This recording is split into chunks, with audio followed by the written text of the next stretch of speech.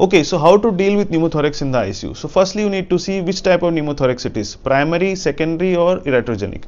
Primary or spontaneous pneumothorax usually happens in a healthy lung. Secondary happens because of certain disease like ARDS and pneumonia and iatrogenic can happen in healthy and healthy lung due to any procedure like central line or pleural fluid aspiration like that. Now it is important to classify because the healthy lungs uh, gives you time and heals very fast while the secondary pneumothorax doesn't heal very fa fast and takes time.